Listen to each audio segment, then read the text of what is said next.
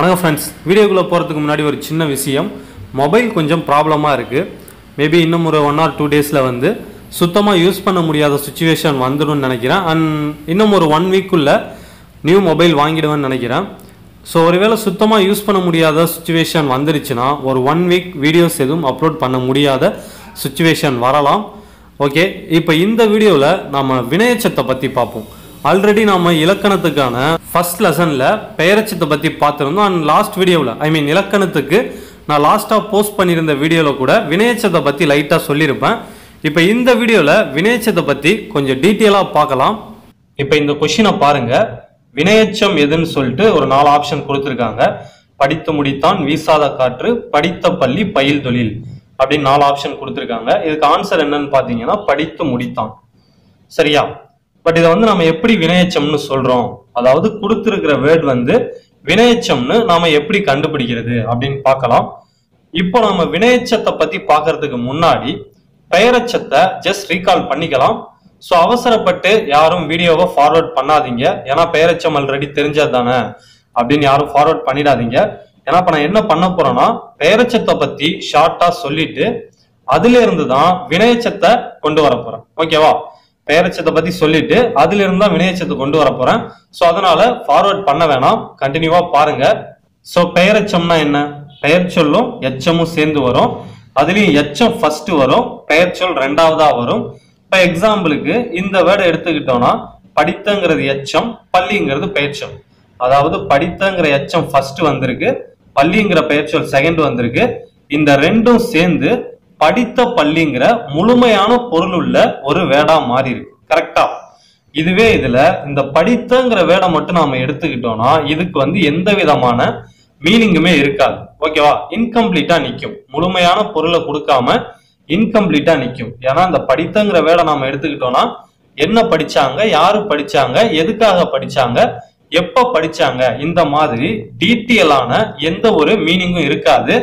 Just படித்த அப்படின்னு இன்கம்ப்ளீட்டா நிற்கும் ஓகேவா ஸோ அப்ப அந்த படித்தங்கிற வேர்ட் கூட பள்ளிங்கிற ஒரு பெயர் சொல்ல சேர்க்கும் போது படித்த பள்ளி அப்படின்னு ஒரு மீனிங்ஃபுல் சென்டென்ஸ் நமக்கு கிடைக்குது. அதாவது ஒரு முழுமையான பொருளை தரக்கூடிய சென்டென்ஸ் கிடைக்குது.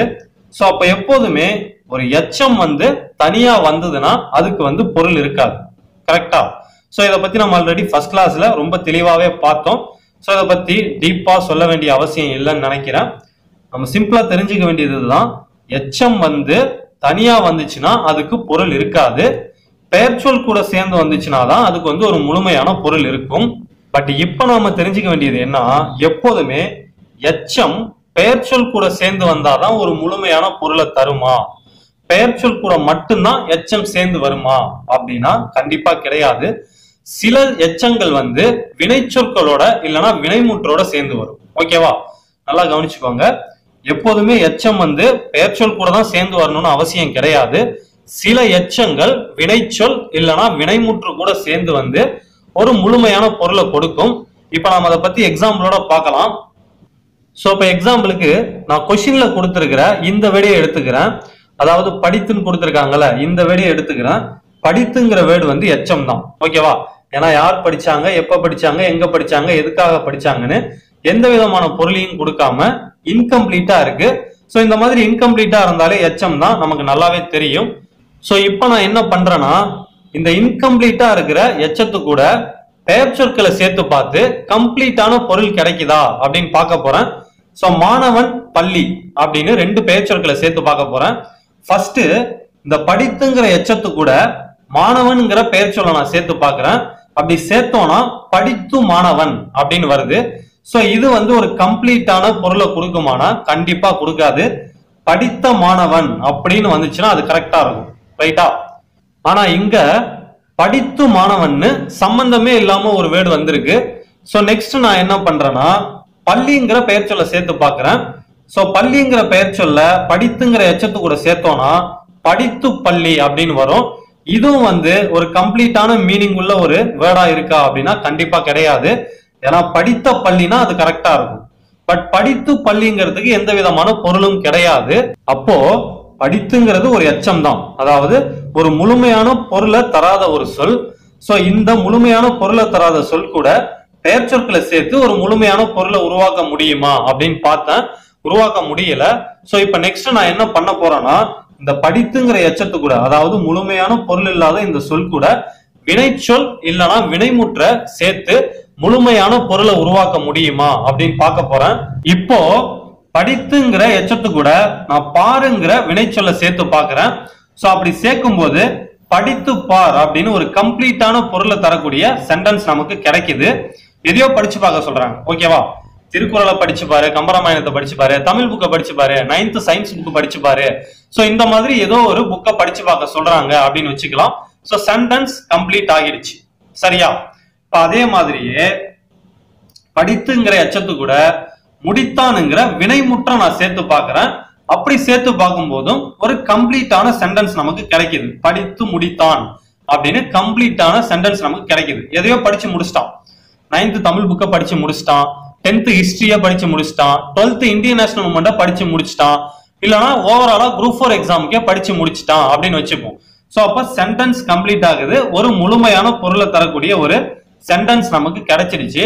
அப்போ எச்சத்து கூட வினைச்சொல் இல்லைன்னா வினைமுற்ற சேர்க்கும் போதும் ஒரு கம்ப்ளீட்டான பொருளை தரக்கூடிய சென்டென்ஸ் நமக்கு கிடைக்கும். ஓகேவா நாம ஃபர்ஸ்ட் படித்துங்கிற எச்சத்து கூட மாணவன் பள்ளி அப்படின்னு ரெண்டு பெயர்ச்சொற்களை சேர்த்து பார்த்தோம். அப்ப வந்து கம்ப்ளீட்டான சென்டென்ஸ் இல்ல வேர்டு எதுவும் நமக்கு கிடைக்கல. பட் அதே படித்துங்கிற எச்சத்து கூட பாருங்கிற வினைச்சொல் முடித்தானுங்கிற வினைமுற்ற நாம சேர்க்கும் போது கம்ப்ளீட்டான சென்டென்ஸ் நமக்கு கிடைச்சிருக்கு. ஸோ அப்போ இதை மாதிரி ஒரு எச்சம் வினைச்சொல் இல்லைன்னா வினைமுற்று கூட சேர்ந்து ஒரு கம்ப்ளீட்டான பொருளை கொடுத்துச்சுன்னா அதுக்கு பேர் தான் வினையச்சம். சரியா? ரொம்ப ரொம்ப சிம்பிள் தான். எச்சம் பெயர் சொல் கூட சேர்ந்து ஒரு கம்ப்ளீட்டான பொருளை கொடுத்துச்சுன்னா பெயரச்சம். அதே எச்சம் வினைச்சொல் இல்லைன்னா வினைமுற்று கூட சேர்ந்து கம்ப்ளீட்டான பொருளை கொடுத்துச்சுன்னா அது வினையச்சம். சரியா? சோ அப்ப நம்ம வினையச்சம்ங்கிறத எப்படி பிரிக்கலாம்னா வினை பிளஸ் எச்சம் அப்படின்னு பிரிக்கலாம்.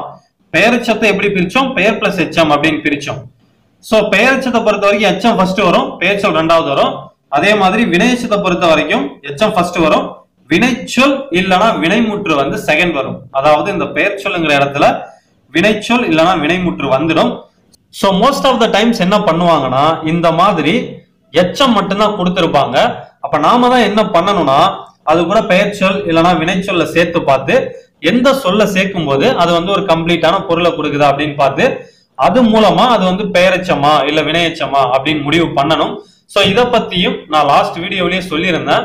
சோ இப்ப படித்துங்கிற வேர்டுக்கு இலக்கண குறிப்பு தருக அப்படின்னு சொல்லி கேட்டிருந்தாங்கன்னா ஆப்ஷன்ல எச்சம்ங்கிற ஆப்ஷன் இருந்ததுன்னா நாம எச்சத்தை சூஸ் பண்ணலாம். சப்போஸ் எச்சம்ங்கிறது ஆப்ஷனா இல்லைன்னா நாமளாதான் தான் சொல் இல்லைன்னா வினைச்சொல்ல சேர்த்து பார்த்து எந்த சொல்ல சேர்க்கும் போது கரெக்டான மீனிங் உள்ள ஒரு சென்டென்ஸ் கிடைக்குதா அப்படின்னு பார்த்து அதை பொறுத்து அது பெயரச்சமா இல்ல வினையச்சமா அப்படின்னு நம்ம முடிவு பண்ணணும். சோ இப்ப இந்த வினையச்சத்தை காலத்தை பொறுத்து மூணா பிரிக்கலாம். சோ அது என்னென்னு அடுத்து பார்க்கலாம். சோ இப்ப இதை பாருங்க. காலத்தை பொறுத்து வினையச்சத்தை மூணு வகையா பிரிக்கலாம். எப்படின்னா நிகழ்கால வினையச்சம் எதிர்கால வினையச்சம் இறந்த கால வினையச்சம் அப்படின்னு மூணு வகையா பிரிக்கலாம். சோ ஃபர்ஸ்ட் இந்த வேடை பாருங்க. அரைந்து விடுவேன் அப்படின்னு கொடுத்துருக்காங்க. இதுல அரைந்துங்கிறது எச்சம் விடுவேனுங்கிறது எதிர்கால வினைமுற்று. ஓகேவா அதாவது ஃபியூச்சர்ல நடக்க போறத வந்து இது மென்ஷன் பண்ணுது. ரைட்டா இப்ப எக்ஸாம்பிளுக்கு இப்படி வச்சுப்போமே ஒரு அப்பா இருக்காங்க. அவங்க பையனை வான் பண்றாங்க. நீ சிகரெட் பிடித்தால் நான் உன்னை அரைந்து விடுவேன் அப்படின்னு சொல்றாங்க. ஓகேவா அதாவது ஃபியூச்சர்ல நடக்க போறத சொல்றாங்க. நீ சிகரெட் பிடிச்சனா நான் உன்னை அறைவேன் அப்படின்னு ஃபியூச்சர்ல நடக்க போறத சொல்றாங்க. சோ அதனால விடுவேன்னு வந்துச்சுன்னா அது எதிர்கால வினைமுற்று. இந்த மாதிரி ஒரு எச்சம் எதிர்கால வினைமுற்று கூட சேர்ந்து வந்துச்சுன்னா அதுக்கு பேர் எதிர்கால வினையச்சம். சரியா? இப்ப அதே மாதிரி அடுத்த சென்டென்ஸ பாருங்க. சாப்பிட சொன்னான் அப்படின்னு இருக்கு. இதுல சாப்பிடங்கிறது எச்சம் சொன்னானுங்கிறது இறந்த கால வினைமுற்று. ஓகேவா ஆஹ் எப்படி நாம இதை இறந்த- இறந்த கால வினைமுற்று அப்படின்னு ஞாபகம் வச்சுக்கலாம்னா நேற்று அவன் என்னை சாப்பிட சொன்னான் அப்படின்னு வச்சுப்போம். நேத்து அவன் என்னை சாப்பிட சொன்னான். நேற்றுங்கிறது என்ன? பாஸ்ட் முடிஞ்சு போனது. சோ நேத்து வந்து அவன் சாப்பிட சொன்னான் அப்படின்னு சொல்றோம். அப்ப சொன்னானுங்கிறது இறந்த கால வினைமுற்றுல வரும். அப்போ ஒரு எச்சம் இறந்த கால வினைமுற்று கூட சேர்ந்து வந்துச்சுன்னா அது வந்து இறந்த கால வினை எச்சம். சரியா? இப்ப நெக்ஸ்ட் அடுத்த வேட பாருங்க. நடந்து செல்கிறேன் அப்படின்னு இருக்கு. இதுல நடந்துங்கிறது எச்சம் செல்கிறேனுங்கிறது நிகழ்கால வினைமுற்று. சரியா? இப்ப எக்ஸாம்பிளுக்கு இந்த இந்த மாதிரி ஒரு சென்டென்ஸ் இருக்குன்னு வச்சுப்போமே நான் அவளோடு நடந்து செல்கிறேன் அப்படின்னு இருக்கு. அதாவது இப்ப போய்கிட்டு இருக்காங்க. ஒரு பாயும் கேளும் இப்ப சேர்ந்து நடந்து போய்கிட்டு இருக்காங்க. ஓகேவா சோ அப்ப செல்கிறேனுங்கிறது ஒரு நிகழ்கால வினைமுற்று. இப்ப இந்த மாதிரி ஒரு எச்சம் நிகழ்கால வினைமுற்று கூட சேர்ந்து வந்துச்சுன்னா அதுக்கு பேரு நிகழ்கால வினையச்சம். ஓகேவா சோ இப்போ ஒன்ஸ் அப்படியே ரிவிஷன் பாத்திரலாம். சோ வினையச்சம்னா ஒண்ணு இல்ல ஒரு எச்சம் வினைச்சொல் இல்லைன்னா வினைமுற்று கூட சேர்ந்து வந்து ஒரு கம்ப்ளீட்டான பொருளை கொடுத்துச்சுன்னா அதுக்கு பேர் வினையச்சம். நம்ம ஆல்ரெடி பெயரச்சம் பத்தி பார்த்திருந்தோம். பெயரச்சத்தை பொறுத்த வரைக்கும் எச்சம் பெயர்ச்சொல் கூட சேர்ந்து வந்து கம்ப்ளீட்டான பொருளை கொடுக்கும். ஓகேவா? ஆனா எல்லா எச்சங்களும் பெயர்ச்சொற்கள் கூட சேர்ந்து வந்து கம்ப்ளீட்டான பொருளை கொடுக்காது. ஒரு சில எச்சங்கள் வினைமுற்று இல்லைன்னா வினைச்சொல் கூட சேர்ந்து வந்துதான் கம்ப்ளீட்டான பொருளை கொடுக்கும். சோ அந்த மாதிரி வினைமுற்று இல்லைனா வினைச்சொல் கூட சேர்ந்து வந்து கம்ப்ளீட்டான பொருளை கொடுக்குற எச்சங்கள் தான் வினையச்சம். அத காலத்தை பொறுத்து மூணு வகையா நம்ம பிரிக்கிறோம். எதிர்கால வினையச்சம் இறந்த கால நிகழ்கால வினையச்சம் அப்படின்னு மூணா பிரிக்கிறோம். எதிர்கால வினையச்சத்தை பொறுத்த வரைக்கும் ஒரு எச்சம் எதிர்கால வினைமுற்று கூட சேர்ந்து வரும். இறந்த கால வினையச்சத்தை பொறுத்த வரைக்கும் ஒரு எச்சம் இறந்த கால வினைமுற்று கூட சேர்ந்து வரும். அதே மாதிரி நிகழ்கால வினையச்சம்னா ஒண்ணு இல்ல. எச்சம் நிகழ்கால வினைமுற்று கூட சேர்ந்து வந்துடும் ஓகேவா சோ இவ்வளவுதான். வினையச்சம்னா என்னன்னு ஓரளவுக்கு உங்களுக்கு கிளியரா புரிஞ்சிருக்கும்னு நம்புறேன். சோ இப்போதைக்கு ஒரு பத்து கொஸ்டின் நான் டிஸ்பிளே பண்றேன். அந்த பத்து கொஸ்டினுக்கும் உங்களுடைய ஆன்சர்ஸை கமெண்ட் பண்ணுங்க. அண்ட் இலக்கண குறிப்பிலேயே நாம இன்னும் பார்க்க வேண்டிய டாபிக்ஸ் நிறைய இருக்கு. ஆனா இப்போதைக்கு இதோட ஸ்டாப் பண்ணிப்போம். நெக்ஸ்ட் வந்து நம்ம யாப்பிலக்கணம் பத்தி பார்க்கலாம். ஏன்னா யாப்பிலக்கணம் வந்து சில பேருக்கு வந்து ரொம்ப கஷ்டமா ஃபீல் பண்ணுவாங்க. ஸோ அதை எக்ஸாம் வரத்துக்குள்ள ஒரு த்ரீ டைம்ஸ் ஆகுது நம்ம ரிவிஷன் பார்த்தாதான் ஓரளவுக்கு புரியுற மாதிரி இருக்கும். யாப்பிலக்கணத்தை ஃபர்ஸ்ட் அட்டம்ப்ட்லயே புரிஞ்சுக்கிறது கொஞ்சம் கஷ்டம் தான் ஸோ அதனாலதான் யாப்பிலக்கணத்தை இப்பயே நடத்தலாம் அப்படின்னு பிளான் பண்ணியிருக்கேன். இல்லைனா உங்களுக்கு வந்து அடுத்தது எந்த டாபிக் நடத்தணும்னு நீங்க ஃபீல் பண்றீங்களோ அதை வந்து கமெண்ட் பண்ணுங்க. அந்த டாபிக்கை பார்க்கலாம். அண்ட் இந்த வீடியோ ஒரு சில நண்பர்களுக்காவது யூஸ்ஃபுல்லாக இருக்கும். நம்புறேன். நன்றி.